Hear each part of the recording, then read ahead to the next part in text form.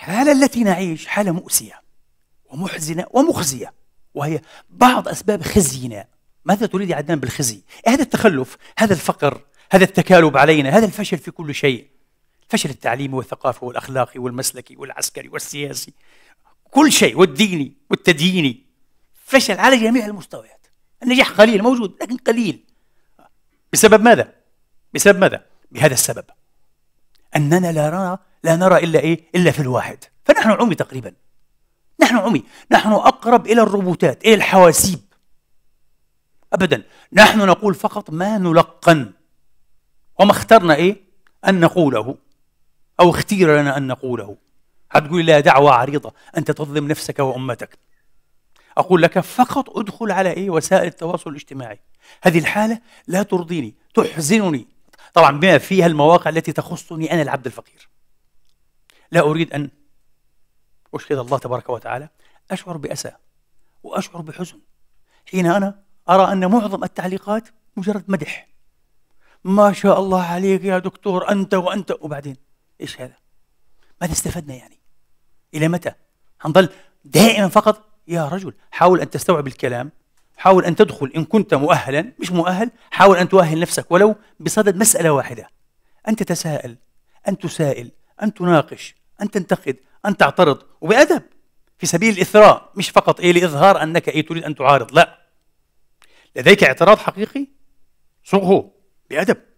وخلي إخوانك اترك إخوانك إيه يتناقشوا معك. يتجادلوا. على فكرة المواقع هكذا بما فيها مواقعي. لا يدخل عليها إلا من يحب الراية وحامل الراية. وهم يرونك إيه؟ حامل راية معينة. يحبون هذه الراية. يدخلون للهتافات. للتصفيق. محزن. هذا وضع محزن.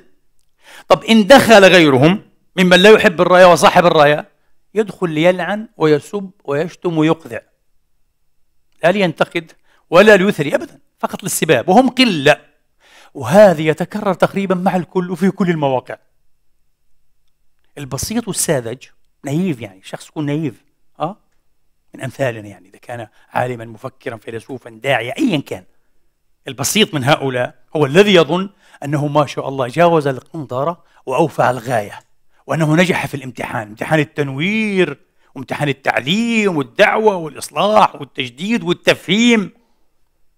نجح لماذا؟ لأن كل من يأتون يصفقون له. يا رجل هذا يحدث مع الجميع؟